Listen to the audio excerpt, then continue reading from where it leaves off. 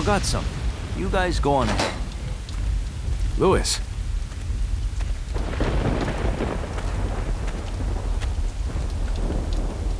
Hey, senorita. Got a light and some smokes to go with it to make my day? Where's the sample? Okay, we skipped the foreplay. As a matter of fact, I was just going to get it. Where's the love, baby? Sounds like fun to me. Just hurry up. Okay, lady. Where do you stand on all of this? Exactly what kind of group are you working for?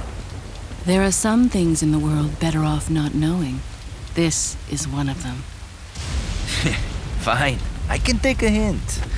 I don't care who you are, as long as you get rid of that old man and his religious friends.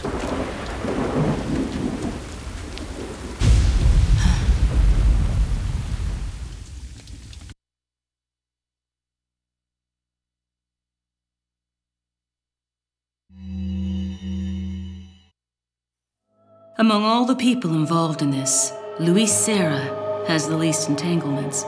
He works for no organization, preferring to move on his own. I'm the one who told the organization of his importance. I did it because I like him. His history betrays an enthusiasm I once shared. It was a stroke of luck that I happened to intercept his email for help. It seems he can't trust the police, so he sent the email to an old friend from college. He must have thought his friend was still alive. At any rate, that's how I managed to find him. Apparently, he's been conducting his own investigation of the cult while doing research on Las Plagas.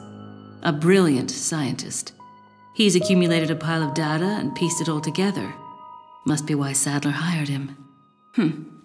Too bad Sera's snooping has aroused his suspicion. When I told him who I was, he practically begged to be taken into custody.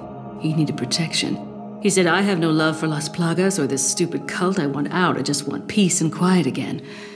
I ordered him to bring me a Master Plaga specimen, a sample for evidence. Looks like he's one of the few people whom Saddler actually trusts. Tracking him down and getting my hands on the sample shouldn't be difficult. I doubt the cult will take kindly to his escape, though. I'll have to guide this along if I want it to go smoothly.